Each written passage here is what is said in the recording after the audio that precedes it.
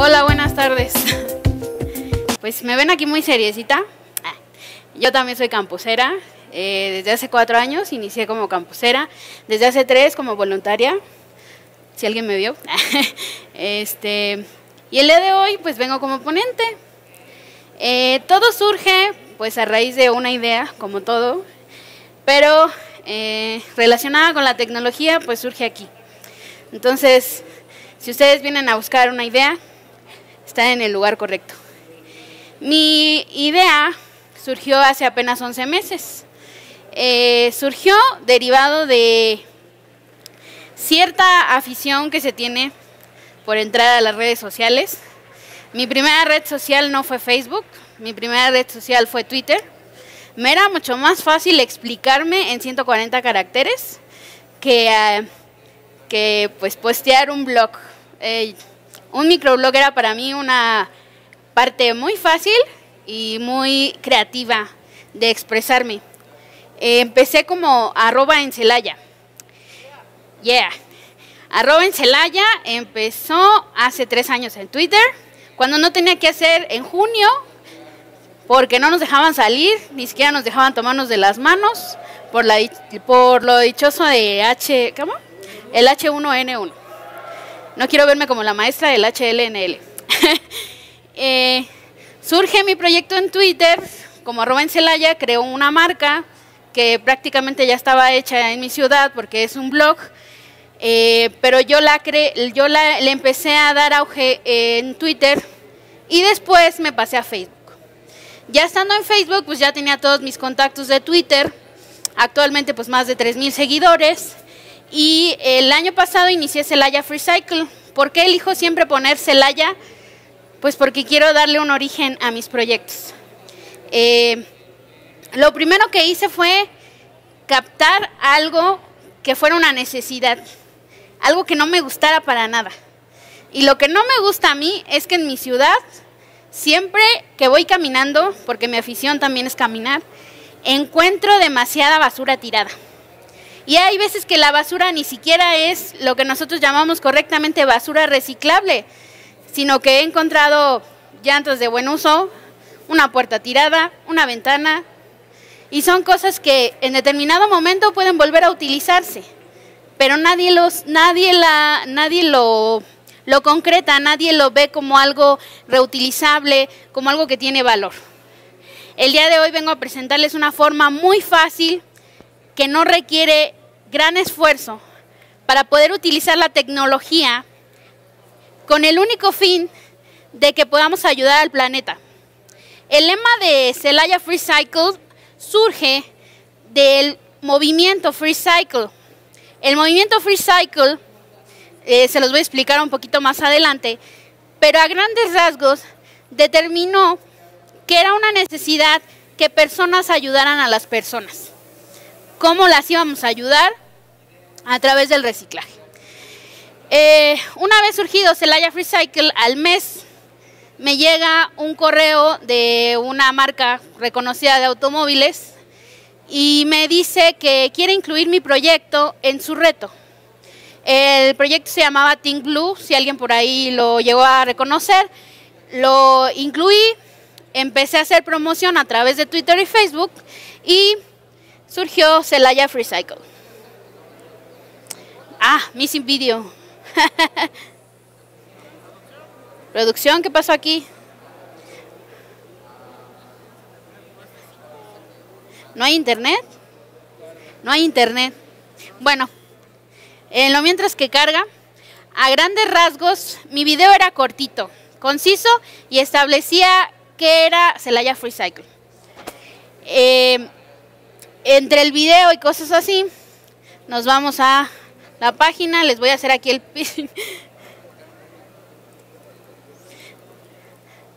Lo que no les he comentado es que de en Celaya surgió también tweetcelaya.com.mx. Tweetcelaya fue también un proyecto mío para tratar de reunir a todos los tuiteros. ¿Por qué? Porque ni siquiera nos conocíamos. Entonces, una de mis principales eh, cometidos era que todos nos conociéramos y desvirtuáramos el arroba, que es lo que muchos venimos a hacer aquí a, a campus. Muchos nos conocemos solamente por redes sociales, pero no es suficiente.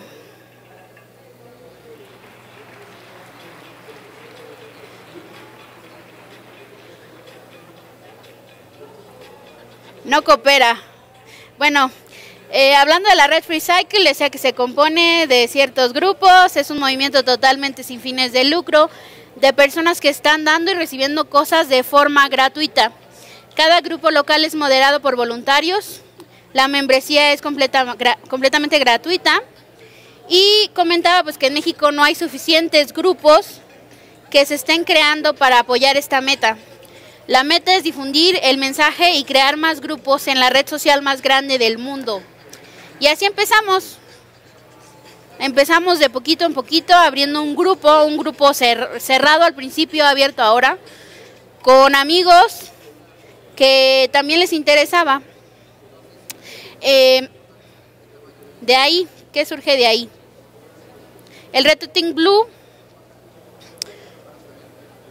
Después del reto Think Blue, con el video pequeñito que llegó a casi 3 mil o 4 mil visitas, que realmente es muy poquito, llegamos al sexto lugar.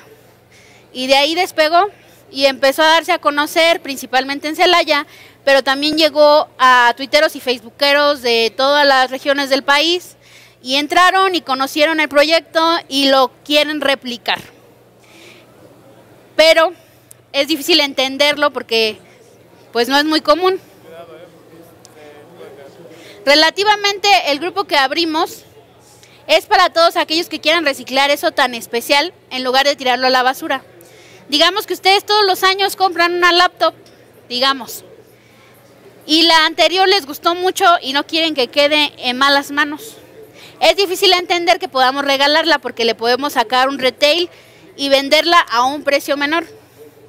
Pero si la quiero tanto y quiero que quede en buenas manos y conozco a un amigo que la puede cuidar, lo más cordial podría ser regalársela. Así funciona con esto. La creatividad es contagiosa.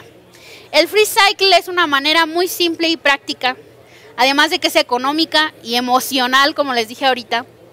Y además de todo eso, es moralmente gratificante porque estás dando un regalo, que literalmente ese regalo puede ayudar a salvar la vida del planeta.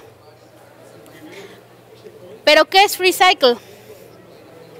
En sí, el free cycle es cuando alguien transmite de forma gratuita un artículo que ya no usa a otra que necesita ese elemento. Lo tenemos aquí directamente. Yo tengo unas papitas, las cambio por un sticker.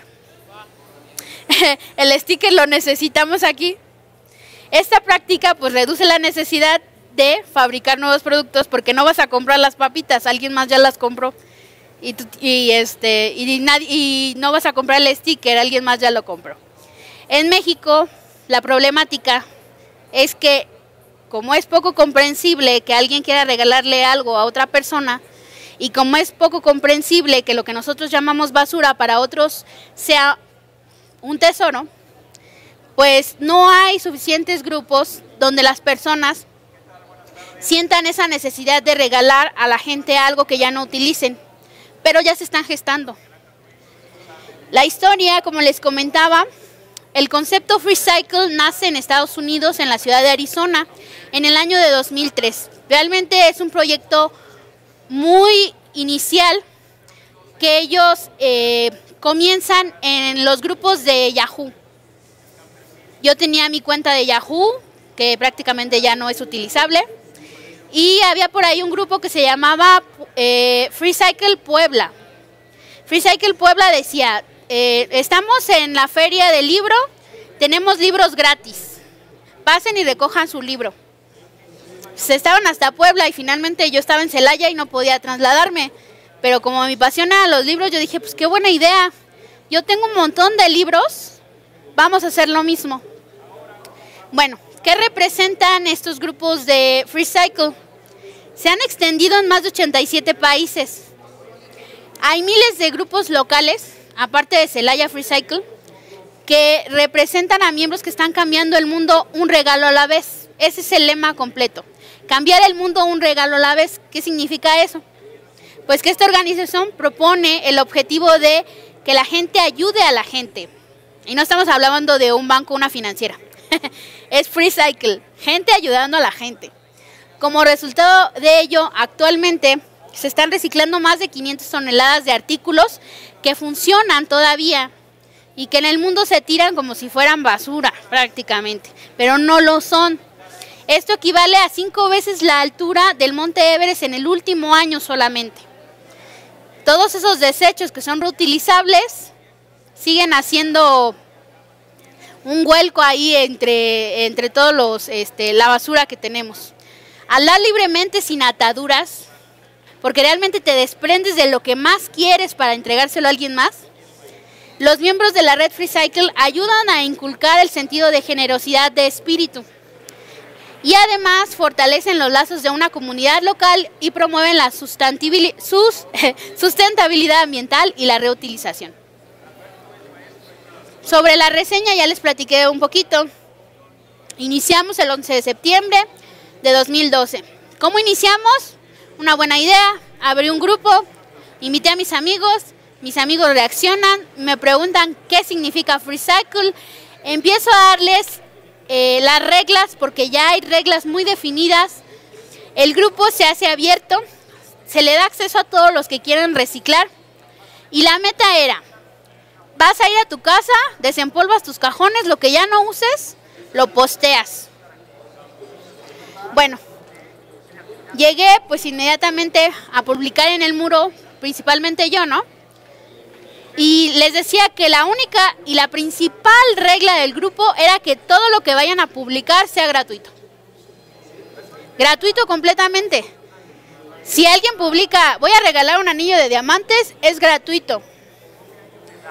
Obvio que no esperemos que nos regalen un anillo de diamantes, pero si a lo mejor yo busco una puerta, busco una puerta de tales dimensiones, porque la mía pues ya no. Y alguien la ha publicado o la publica después de que tú eh, la has eh, solicitado, es completamente gratis para ti. ¿Por qué? Porque esa puerta sigue en buen estado, evitas que llegue al basurero y además tienes eh, el aspecto de que es sin fines de lucro. Bueno, hay muchas comunidades oficiales en México, esta no es oficial. La mía surge de la necesidad de que Free Cycle estaba muriendo. Free Cycle no funcionaba en ciertos países porque solamente se tramitaban a través de grupos de Yahoo y a través de correo electrónico. Y yo quería que hubiera una inmediatez completa y la única forma de haber inmediatez era utilizando las redes sociales como yo sabía utilizarlas. Así inició mi movimiento Free Cycle. Mi movimiento Free Cycle de Celaya es donde podemos postear imágenes de cómo reciclar o aprovechar las cosas que aún tienen uso en nuestra casa. Si tú dices, bueno, yo no quiero regalar, pero tengo este frascos de yogur. ¿Qué puedo hacer con unos frascos de yogur? y que a lo mejor quiero eh, utilizarlos para un recuerdo en una fiesta. Posteamos la imagen, no importa qué uso anterior tenía, apoyamos el continuo desarrollo de eh, aprendizaje sobre el reciclaje y por ello organizamos también fuera del grupo eh, talleres y cursos sobre cómo reciclar. Entre esos talleres había pues cosas así medio raras, ¿no? Decíamos, bueno, tenemos un montón de papel, ¿qué podemos hacer con el papel? Vamos a hacer un taller de crear piñatas con papel reciclado. Y era diciembre y va, lo creamos. Luego hicimos un taller de crear eh, toallas femeninas ecológicas. Que dice, bueno, pues está, está por ahí de pensarse. ¿Y cuáles fueron los resultados? A casi un año ya tenemos más de 800 miembros integrantes en una ciudad de por lo menos 4.000 a 7.000 personas. Estamos hablando de un 10% de la población que ya entró a la página, que ya sabe que es Free Cycle y que ya sabe que puede apoyar al mundo dando un regalo a la vez. Tenemos alianzas con comunidades, con universidades, con empresas y con ONGs. Eh, eh, sobre todo hay eh, personas con discapacidad que tienen su asociación civil que nos ofrecieron apoyo para talleres. Personas que aún sin que puedan, sin poder ver, tienen la opción de que crean este tipo de proyectos para que también se apoyen con el grupo que tenemos nosotros. Con universidades y con escuelas nos tocó el caso de una maestra en un kinder. Ella decía, yo trabajo en una comunidad y la comunidad tiene muchas necesidades. ¿Qué puedes hacer tú para que esas necesidades se cubran, no? Bueno, ¿qué necesidad tienen tus niños? Pues necesitan zapatos. Yo decía, bueno, vamos a ver cuántos en el grupo tienen niños de esas edades y pedirle que los zapatos que ya no utilizan se los destinen a ellos. Y sucedió, se destinaron más de 100 pares de zapatos para niños de bajos recursos a través de este proyecto. Si tú no quieres ayudar a una persona que no conoces, ayudas a instituciones que puedes tratar o empiezas a tratar de conocer o ayudas a personas que ya sabes que tienen la necesidad. No es indispensable que tengas una necesidad para generar eh, lo que es querer un producto, pero sí es una de las principales tendencias. ¿Qué más? Eh, se realizaron los dos talleres con el enfoque establecido en FreeCycle. Se obtuvo el sexto lugar en el Think Blue Road de Volkswagen México. Se trabajó en un modelo de negocio redituable. El modelo de negocio redituable sale del área sin fines de lucro. ¿Por qué? A través de este proyecto nos dimos cuenta de que funcionaba tan bien y de que las personas no no trataban de reutilizar, sino que nada más trataban de obtener el beneficio, porque así somos los seres humanos, siempre tratamos de obtener un beneficio redituable, que se nos dio la tarea durante Campus Party, surgió apenas en estos días entrar al reto eh, que tenían de proyectos sociales. Nos metimos al maratón de proyectos sociales, ideamos la creación de talleres en donde la gente a través de online y o presenciales puedan acceder a este conocimiento, a cómo utilizar las cosas que yo tengo para reutilizarlas, a cómo tratar de ayudar al planeta un regalo a la vez y apoyarnos con esto. ¿Qué se puede hacer? Se crea el grupo y se crea el proyecto alterno.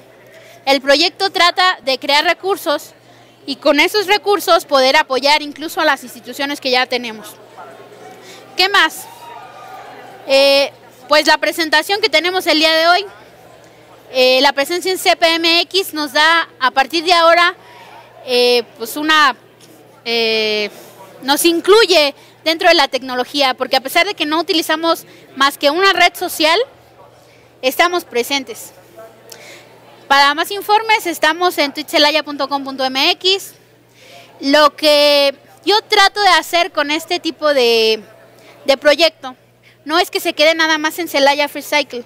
Así como yo encontré Free Cycle Puebla, Free Cycle México, Free Cycle Querétaro, donde ya no es utilizable la plataforma que se establece como Yahoo, también trato de que estos grupos surjan en otras ciudades.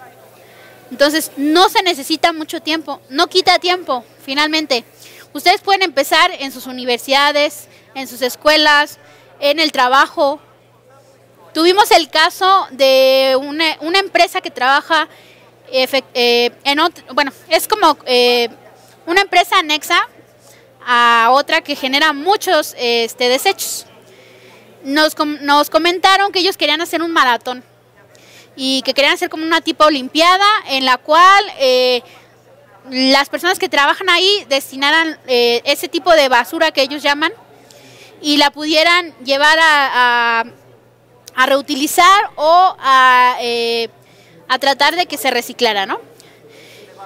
Llegaron, habían más de 30 personas, todas llegan con desechos, se hizo el maratón en el que si alguien llegaba con más papel o con más cartón o con más lata, o con más revistas, eh, se obtenía un, este, un certificado, ¿no?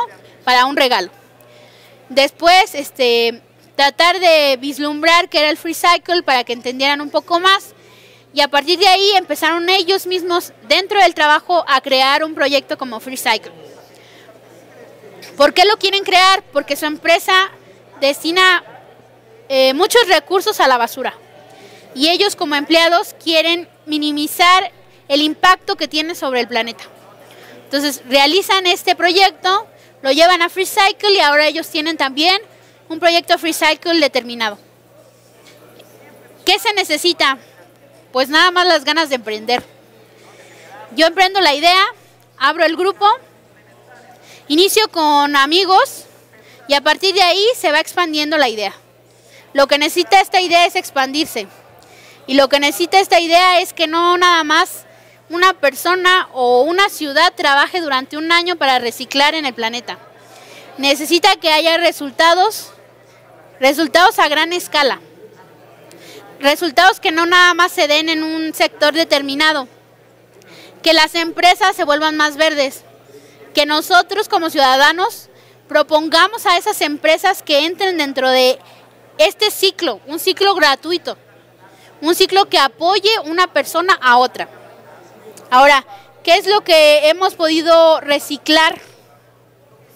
¿O qué es lo que hemos podido tener dentro del grupo que nos haya dado el plus para decir eh, si funciona y si lo he llevado a cabo. ¿Qué ofrecemos mediante el grupo?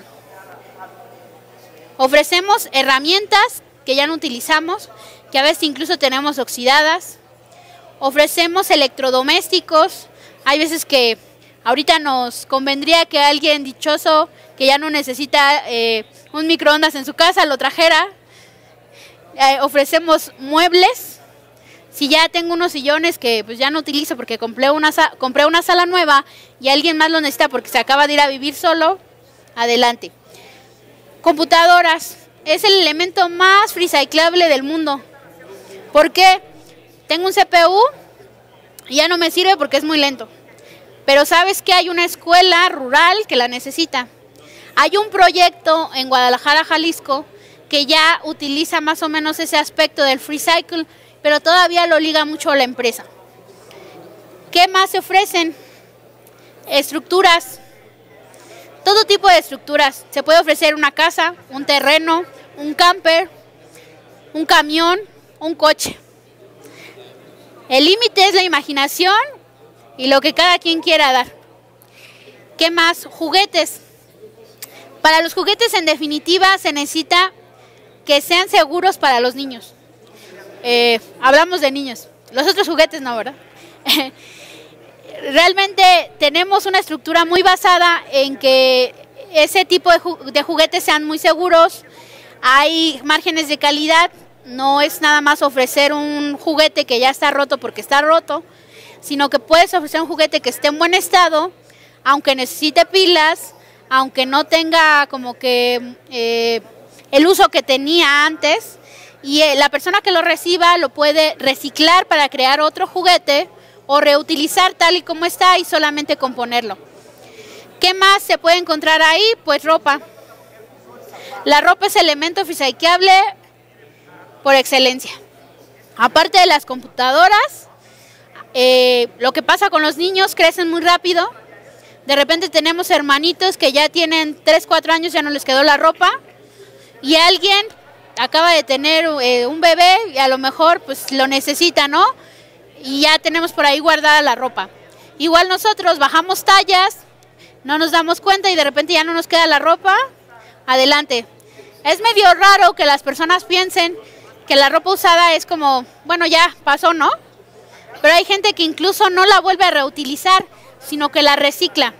Y hay proyectos en donde se hacen bolsas, donde se realizan recortes de, tela para realizar un proyecto distinto. Se puede utilizar de muchas maneras. Y por último, objetos comunes de consumo. Para los objetos comunes de consumo es difícil entender que en nuestra cocina haya tantas cosas que podemos reciclar. Una de las principales cosas que podemos reciclar es todo, toda la comida que utilizamos. Hacer la composta no tarda ni 20 minutos. Utilizamos la tierra que tenemos incluso en el jardín y podemos crear la composta aventando la basura orgánica directamente al jardín y tapándola. ¿Qué otra cosa? Los cartones de huevo que nosotros los tiramos inmediatamente cuando los terminamos de utilizar, los puede utilizar un jardinero para germinar. Los germinados, si se han fijado, eh, son pequeñas tablas en donde van creando los cubitos de germinado. Pero también en ese tipo de estructura de cascarón se puede germinar. Eh, ¿Qué más desechamos frecuentemente? Las botellas de PET, altamente reciclables, eh, lo que son las latas, altamente reciclables. Es una pena ir por las calles y ver todo, todo eso, que es tan altamente reciclable que hay gente que ya vive de ese tipo de proyectos de reciclaje. Hay recicladoras que basan todo su modelo de negocios en ir y limpiar las empresas, en ir y limpiar hasta tu casa. Incluso si van hasta tu casa y tú les das el reciclaje, te lo van y te lo pagan hasta tu casa. Entonces, es increíble que vemos dinero tirado todos los días en la calle. Además de, estos objetos comunes, eh, el movimiento Free Cycle lo que determina es aportar eh, elementos que puedan darnos la estructura para no tener eh, no tener que destruir más el planeta, no tener que consumir más, no tener que hacer o desarrollar ciertos aspectos que el planeta no, los demanda.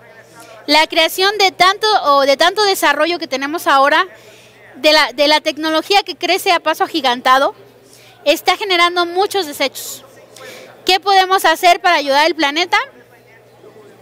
Tratar de generar estos proyectos en casa, primero, de generar estos proyectos en las universidades, de generar estos proyectos en las escuelas y por último de generarlo a nivel nacional porque debe de haber un punto en el que digamos, basta, ya estamos saturados de basura, ya no aguantamos.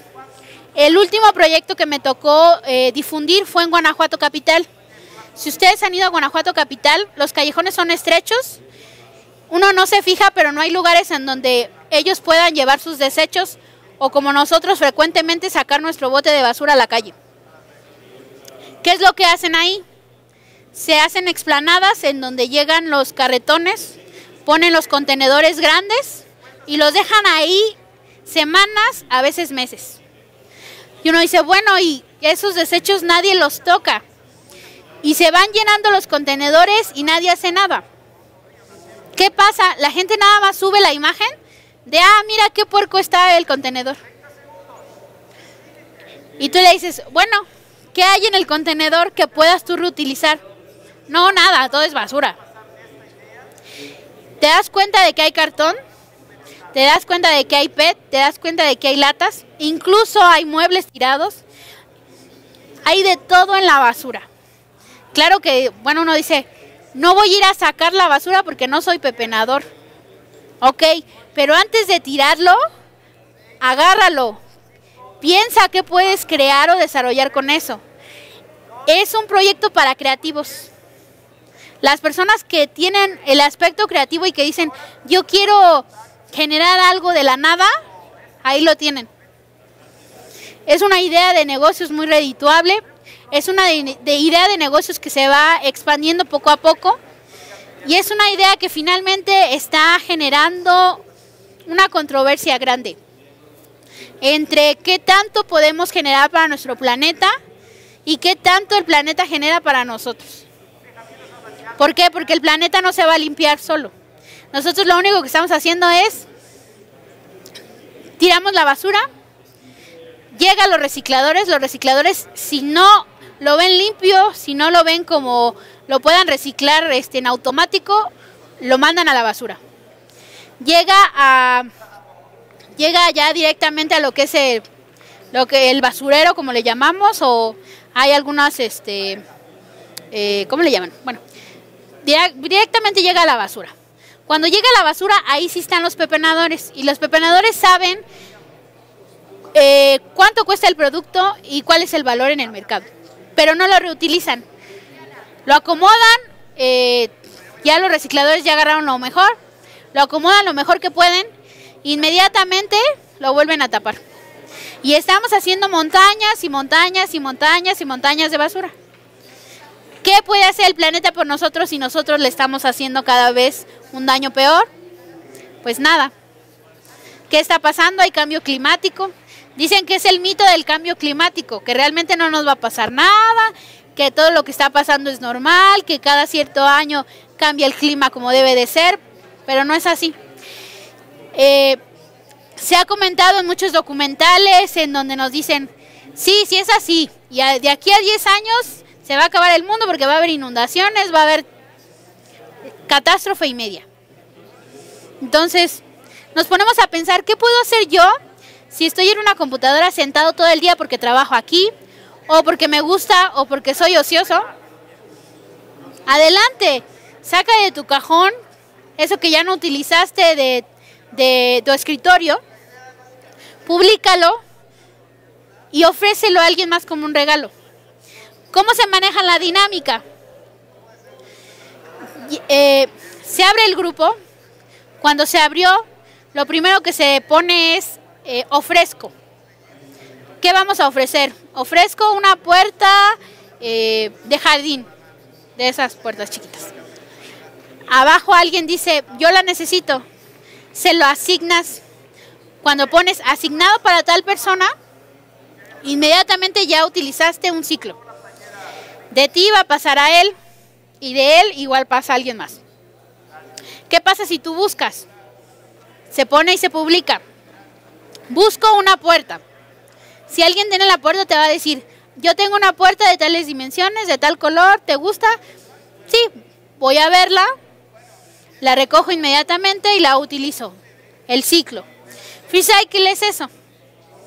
Ayudo, ayudas. ¿Qué gano yo haciendo esto? Siempre es la pregunta obligada. Es difícil creer que alguien dedique tiempo a algo que es completamente gratuito, que no tiene fines de lucro, que no genera a grandes rasgos lo que la gente quisiera generar, que es ingreso. Pero ¿qué está generando para mí? Está generando una comunidad. ¿Qué es lo que me satisface a mí trabajando con esto? que en determinado momento, como está pasando ahora, va a ir creciendo, se va a ir expandiendo. Y de eso tratan nuestros proyectos aquí. De que una idea que nació un día de septiembre, que era pequeñita, que salió, de una ciudad de Guanajuato, llegue y se expanda. A partir de aquí, eh, pues solamente nos queda tratar de que se comprenda un poco más el free cycle de que se vea de que hay resultados, de que se vea que es factible, de que se le destinan recursos y de que pues finalmente tengamos la opción de poder generar ingresos en determinado momento, pero tratando de llegar al mismo lema. Por mi parte sería todo. Si tienen alguna pregunta. Vamos a pasar a la sesión de preguntas. Este, buenas tardes. Como mencionabas, tengo esta pregunta principal. ¿Cómo luchar contra ese pensamiento de obtener algo? Supongamos aquí en el Distrito Federal el competidor serían las chácharas, los ropavejeros. Yo tengo una este, base de cama individual que tengo ya desde hace como dos años que ya no uso, pero ahora sí que alguna vez la ofrecí en internet, ¿saben qué? Pues solamente vengan por ella porque yo no la necesito. Y todos decían, no, es que no tengo cómo irla, no tengo cómo ir por ella. Fui al de las chácharas y me dijeron, pues te doy 50 pesos, pero yo sí voy hasta tu edificio y la bajo. ¿Cómo pelear contra ese sentimiento de que, pues bueno, ellos están yendo por mi algo que voy a reciclar me están, y yo estoy obteniendo una ganancia que me está sirviendo contra gente que a lo mejor no quiere o, si, o cómo voy a pelear contra eso de que pues de obtener 50 pesos a regalarlo, mejor me quedo con 50 pesos. Ok. Sí es difícil cambiar la mentalidad en un mundo capitalista, en un mundo donde consumimos prácticamente todo lo que llega. Lo consumimos tan rápido que es irremediable que lo único que queramos recibir a cambio sea lo primero que encontramos, ¿no? Si dices, bueno, a mí me convienen más los 50 pesos, está bien para ti. ¿Cuál es el plus de este proyecto? Y es lo que siempre estoy defendiendo. El plus del proyecto es de que es un regalo a la vez, es cambiar al mundo, es apoyar a la ecología. Cuando alguien me dice, sí me interesa el producto, pero no quiero ir por él o no tengo tiempo o se me hace muy difícil eh, eh, tratar de bajarlo del edificio, creamos un apoyo para esas personas. ¿Qué hicimos? Tenemos un centro de reciclado Free Cycle. En el centro de reciclado, cuando alguien ofrece ese producto y nadie lo puede obtener porque es demasiado difícil, yo utilizo eh, la, forma que, que finalmente pueda obtener, que es ir por el producto o que me lleven el producto, lo dejamos en el punto de reciclaje y hacemos eh, como una tipo feria, ¿no? Nos juntamos un sábado o un domingo, que ese es nuestro próximo proyecto, en el mismo centro de reciclaje y ahí cada persona va a llegar, determinar qué quiere y dejar otra cosa a cambio. Te fijas, eh, la inflexión que hicimos de no nada más tú recibes, sino que además dejas algo a cambio. ¿Cómo obtuvimos esa idea? También en Estados Unidos hay free shops. Las free shops son lugares de reciclaje en donde ya tienen todos los productos, en donde tú nada más llegas y determinas lo que quieres y dejas algo a cambio, no tiene que ser de la misma cantidad o basarse en un aspecto monetario. Esa fue nuestra respuesta a ese problema. Eh, ¿Qué pasa cuando dices, no, no me es factible? Eh, yo prefiero tener una ganancia ahí te vas más por el aspecto sentimental, ¿no? Sí, quieres obtener una ganancia, pero ¿qué pasa? Tu producto lo necesita alguien que de verdad surgió la necesidad, está en una asociación, eh, tiene tal estructura, va a quedar en una persona que realmente tú sepas que lo va a utilizar para lo que lo va a utilizar, no va a quedar en un chacharero. Este, en determinado momento el producto va a hacer feliz a alguien más, tú vas a poder ir a entregárselo o esa persona va a ir directamente y tú se lo entregas. Tiene como ese aspecto de crear un lazo, crear un nexo con la comunidad, tener ese aspecto más sentimental que monetario. Hay muchas formas de verlo. Como sea, eh, obtener un ingreso te va a dar una cosquillita, ¿no? Y vas a decir, bueno, pues sí, va, viene por los 50 pesos y ya pero no sabe si en determinado momento, si a él ya no le sirve, va y lo tira otra vez. Entonces, el ciclo que tú querías crear termina ahí. Y acá tú ya tienes ese plus en el cual dices, bueno, ya tengo eh, ese, ese extra para yo ya no, ya no tener que depender de la necesidad de generar el ingreso. Buenas tardes. Primero que nada, felicitarte yo soy Verónica Peniagua y vengo de Zacatecas y es bien difícil encontrar proyectos de tecnologías aplicadas a resolver la problemática ambiental.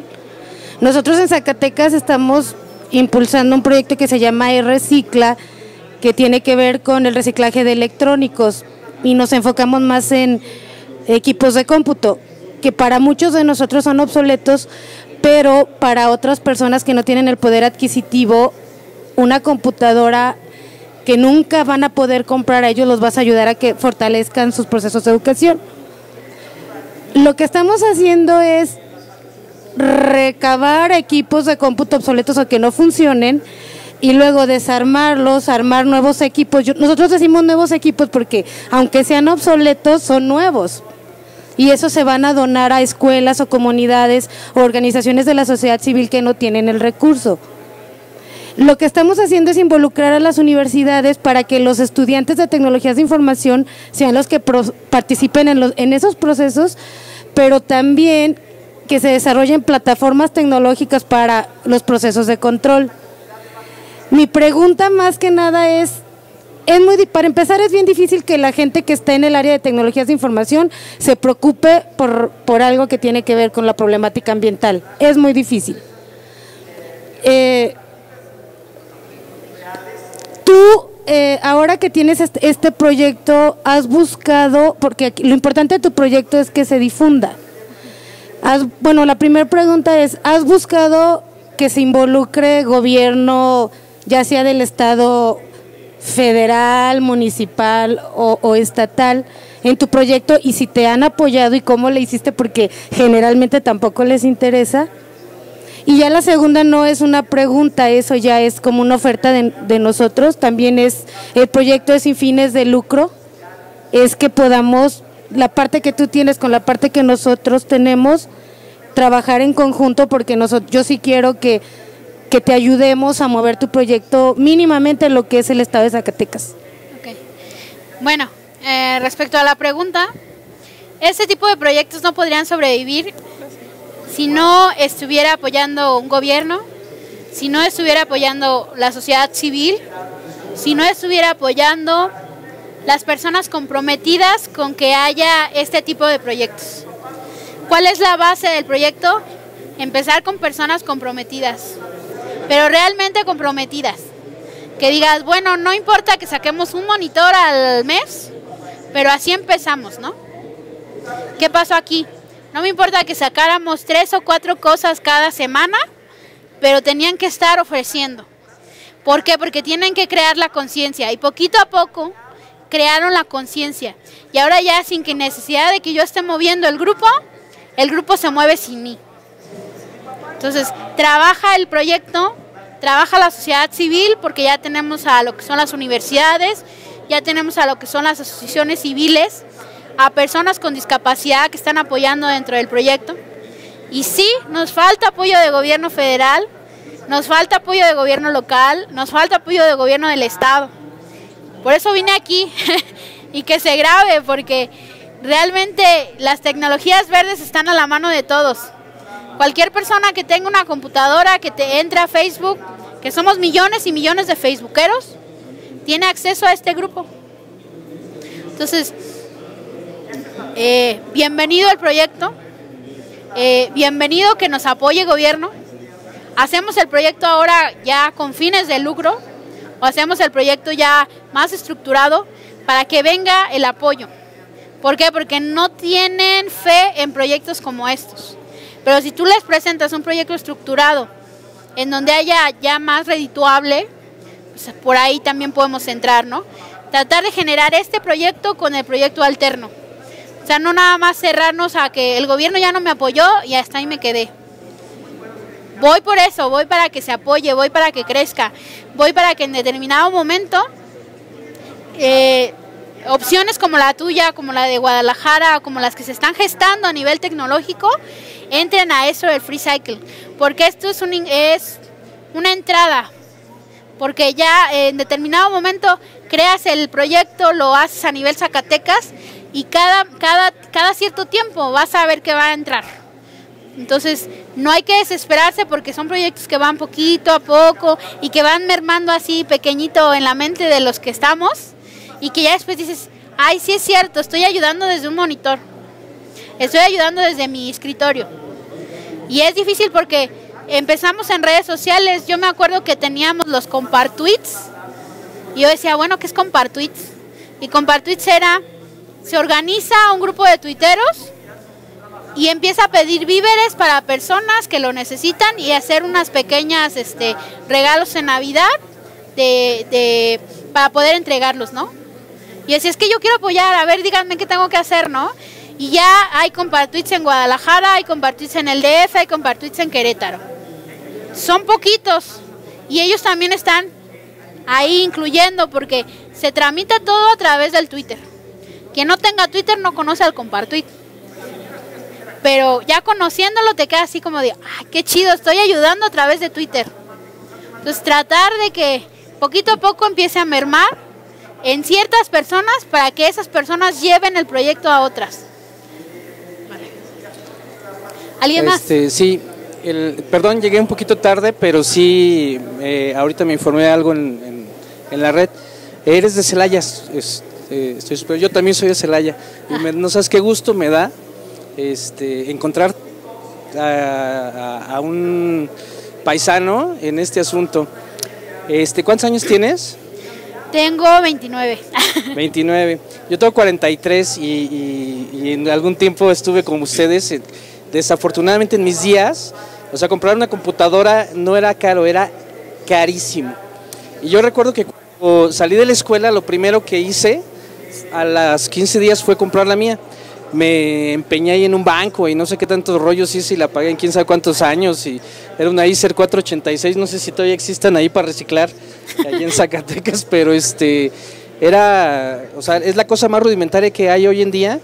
Y, este, y, y me, me he tratado de imaginar cómo hubiese sido mi vida de estudiante este, si yo hubiera tenido la tecnología que tienen ustedes y las cosas que tienen ustedes, inclusive el hecho de pensar siquiera que existiera el internet en mis días era, pues era como brujería, ¿no? Era, era actos de magia y hechicería. Entonces, este, hoy eh, estoy in- inmerso en, en varios negocios.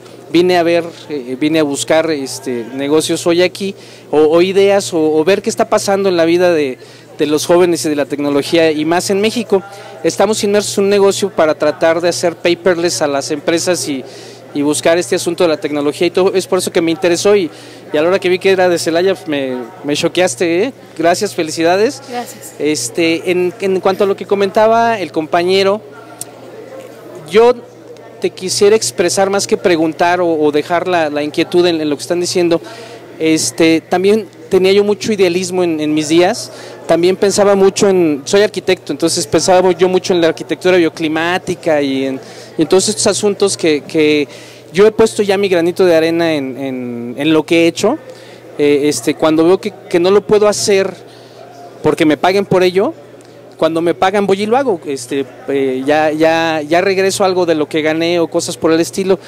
En este asunto de asociación sin fines de lucro, yo quisiera comentar que también he pasado por ello y Jesucristo y San Francisco de Asís, que hacían exactamente cosas sin fines de lucro, es decir, por medio del amor y por medio de la gratitud, este, usaban chanclas, eh, eh, túnica, este, y, costaba eso dinero, ¿eh? Comían y la comida costaba dinero. Entonces, el, el- no, hay, no hay que confundir este tema de que el dinero sea malo, ¿sí?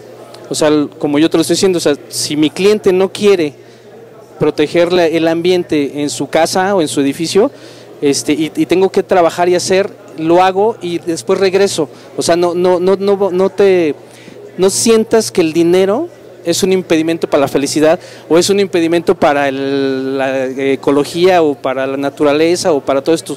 O sea, ubi- trata de, de- de equilibrar el tema de, de sin fines de lucro y a lo mejor este, que te lleguen patrocinios a tu Face o a tu grupo este, de empresas comprometidas con la ecología, por ejemplo, ¿no? Este, porque el, el hecho de, pedirle apoyo al gobierno, y yo se los recomiendo, este, olvídense de que existe gobierno, ¿eh? O sea, hay chavos, empresarios, ciudadanos, y no dependan de un presidente municipal o de alguien. Este, me- se me hace a mí ridículo que no se puede inaugurar un edificio porque estamos esperando cuando el presidente municipal va a venir. No lo esperen, inaugurenlo con ustedes, con sus cuates, con los empresarios, con los vecinos, con los de la universidad, con todos ellos. Este, no, no, no necesitas un, no es anarquismo, pero no, no, no, no dependan del gobierno, ¿no? Y sí hay mucha gente que quisiera este, participar en, en este tema de, de- de cómo equilibres, porque el hecho de que tú ahorita mencionas que tienes un centro de acopio, seguro si no es tu casa te cuesta renta. ¿sí? Entonces, el, el hecho de, la, del- de tener un Face te cuesta un dinero de, del Internet. O sea, to- todo cuesta dinero en este, en este mundo y eso no es malo, ¿eh? O sea, no, no es malo el dinero. Es bien padre, a mí me encanta y también me encanta ayudar y también me encanta el campo y también me encanta la ecología y la familia y todo. O sea, que no sea un que no te vicie ese tema de sin fines de lucro. Medialo y si tienes que recibir dinero, recíbelo. Si, y, si, y si en algún momento este, este reciclaje se vuelve regalarlo a los asilos o se vuelve que alguien da dinero eh, este, a cambio porque no tiene otra cosa este, que darte a cambio de, eh, eh, eh, médialo. O si llega un patrocinador y te dice, oye, pinta tu negocio, eh, de ejemplo, y tú me vas a entender, de leche cuadritos. este, para que cuando vengan a dejarte un, un vestido, una, un monitor, unas chanclas, una caja, alguien ve el letrero de leche cuadritos y es una empresa socialmente responsable, ¿no? Con fundaciones y todo ese rollo. Algo así, o sea, no le tengas miedo al dinero. Ve ese tema de fines de, de sin fines de lucro como un tema respetuoso, que se mantenga, porque alguien te va a querer, se, sí se va a querer aprovechar de tu face y va a subir un anuncio, este, boutique eh, Lolita, ¿no? O sea, ¿por qué? Porque ya ve que tienes 5 mil seguidores o cosas por el estilo. Trata de mediarlo y trata de ver cómo lo aprovechas para bien, pero no le tengas miedo a los fines de lucro, ¿sale? Sí lo he planteado con los negocios, porque nos ha llegado este, publicidad y la publicidad dice gratis, ¿no? Entonces, para ellos gratis va a ser la inscripción y gratis va a ser tal. Lo dejo. ¿Por qué? Porque son, eh, son ciertas eh, iniciativas que tienen las empresas para atraer, para atraer a clientes. Si se valen de la palabra gratis está muy bien. Como tú dices, no me caso con la idea de que todo sea gratis y que no haya dinero de por medio. Sé que en determinado momento cada proyecto tiene un ingreso y debe de tener un ingreso para empezar y para negociar. No me casé con la idea. Eh, lo que siento es que como se genera eh, la necesidad, al momento de generarse la necesidad, tú estás recibiendo un producto y ese producto tiene un valor. Entonces, nada se genera sin dinero. Finalmente te están pasando una cantidad y tú a la vez respondes por gratitud pasando otra cantidad. Entonces, estamos moviéndonos en aspectos en donde sí sé que se está moviendo dinero. Por eso es que a partir de aquí empezamos el desarrollo del proyecto de negocios, porque existen las empresas que quieren hacer la donación, que me dicen, ¿sabes qué? Tú, las personas que están dentro de tu grupo necesitan este producto. Yo lo genero y genero tantas piezas al mes. Actualmente, si me dices, te voy a pasar esas piezas, no las puedo ubicar. Podría ubicar 15 a 10% y me estaría quedando con el rezago. ¿Qué queremos crear? Que haya los talleres en donde la gente vaya y cree ese producto y lo esté continuamente pidiendo. Y es un taller que no te va a costar una fortuna porque estás trabajando con producto de desecho. Entonces, al momento que tú creas eso, también creas un ingreso para ti. ¿Por qué? Porque vas a crear un producto que tú vas a poder distribuir y cuando tú ya lo vayas y lo conozcas y tú lo empieces a crear, tú inmediatamente también te conviertes en un empresario que, va, que se va a generar a través de este tipo de proyectos. Entonces, empieza como proyecto así, pero va creciendo, o sea, lo siento y lo veo porque hay gente que le está apostando y va aquí a crecer independientemente de que, como digas tú, las empresas o que estén aquí o las personas que vayan a influir, lo avienten o no lo avienten, va a empezar a crecer. Entonces, este, no me caso con la idea de que todo sea gratis. Desde un principio lo establecí. Realmente no es algo que, que como dice ahí, se quede ahí. Está creciendo, tú cambias, tú, este, tú lo utilizas, tú lo vuelves, le vuelves a dar un uso, tú finalmente también lo deprecias de nueva cuenta, pero va haciendo el ciclo hasta que ya en determinado momento digas, bueno, ya no sirve para el mismo uso, vamos a reciclarlo. Entonces, este, sí es un buen comentario. Ya me he dado muy, muy, bueno, me he dado cuenta de que está pasando, de que está creciendo y de que tengo que incluir todo el costo que está generando, de que de alguna forma tiene que este, establecerse un, una, un, algo intermedio para que no haya ni mermas en mi parte ni mermas en la parte de las personas que ya están aquí. Entonces, este, pues nada más tratar de ayudarlo a crecer tratar de que se disperse para que más personas lo empiecen a hacer y que también entiendan eso, ¿no? De que gratuito no significa precisamente que no incluya un ingreso. Es lo que pasa también con el software libre. Para el software libre muchos decimos, el software libre es gratuito. Sí, pero no sabes quién trabajó detrás de él, no sabes cuántas personas este, influyeron para que existiera, no sabes cuánto ingreso se determina a partir de que va creciendo ese sistema, ¿no? Entonces, tiene que haber ingreso para que el sistema siga creciendo y para que el sistema se siga repartiendo de manera libre. Lo mismo pasa aquí. Entonces, por eso, como también me desarrollo como abogada y tengo este tengo la eh, en ese aspecto del software libre y como que lo determiné, lo vi por ahí empezó. Felicidades. Gracias. Eh, bueno, por cuestiones de tiempo ya tenemos que cerrar la charla. Por favor, un aplauso a May. Muchas gracias por tu charla. Eh, ahora vamos a seguir con una conferencia robótica sobre...